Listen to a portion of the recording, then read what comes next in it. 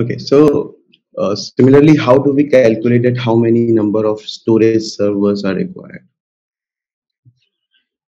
Right, so in this case, first we estimate that what is the total data size that is required. So uh, we will see uh, an exercise that how do we calculate this um, that total data size requirement.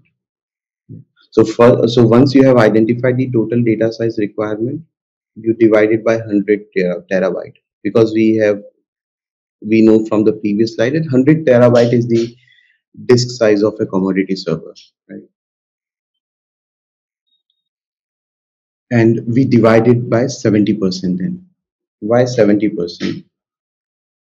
Because 70% is ideally the maximum disk size that we should fill once we go above 70% like 80% or 90% so if we have filled disk to that capacity then the reads and writes they start slowing down. Um, so because uh, the seek times start increasing.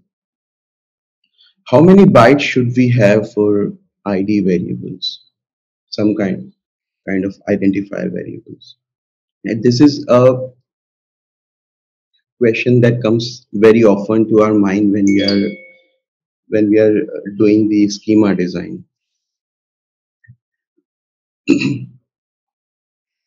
so let's say uh, you are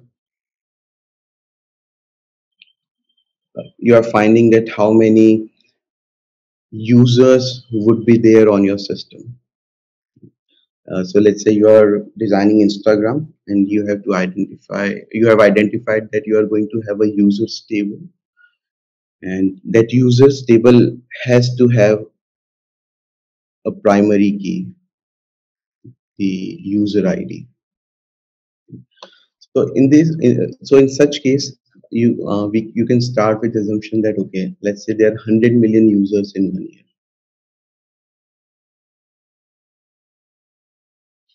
then uh, then uh, if you look at uh, next five years you can say that okay these 100 million users are going to increase to 1 billion users.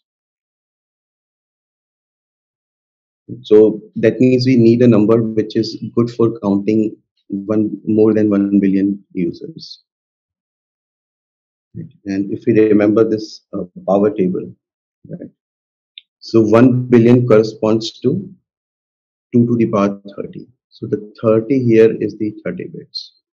So that means 30 bits are enough to count up to 1 billion. So if I have a 32 bit number, then it should be good enough for 4 billion users.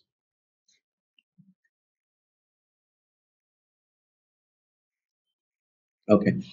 Now for counting big numbers like tweet ID, Now, in this case, you need to have a counter which is going to help you to count some huge, really huge numbers. Okay. So if we uh, look at the power table, right? So the 50, 2 to the power 50, this, so that means if I can have 50, uh, if I can have 40 bits, this is like 1 trillion. So that means I can store 1 trillion tweets but the kind of crazy pace at um, we uh, the tweets are going on. It seems very logical that 1 trillion is going to be a small number. So if we can have 50 bit number then it can count up to 1000 trillion. So 1000 trillion seems like a good number And if we uh, look in the uh, reality, so Twitter uses a 64-bit number. And 64-bit number just makes them future-proof. So yeah, so in the interview, you can, uh, instead of directly saying that, okay, I'm going to use a 64-bits number, if you can uh, very quickly reference this that uh, to the interviewer that okay uh, if i can have a 50 bit number then it gives me the capability to store 1000 trillion tweets.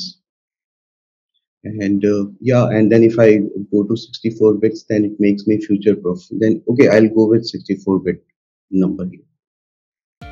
Want to become a software engineer at google? You can like thousands of our students. You just need to learn from those who've already cleared FAANG interviews. At interview kickstart our interview prep courses are developed and taught live by 150 plus instructors from tier 1 companies like google and facebook our courses are tailored to help you crack software engineering domain interviews, including back-end, full stack, machine learning, embedded systems, data science, and more. To learn more, book your free webinar slot today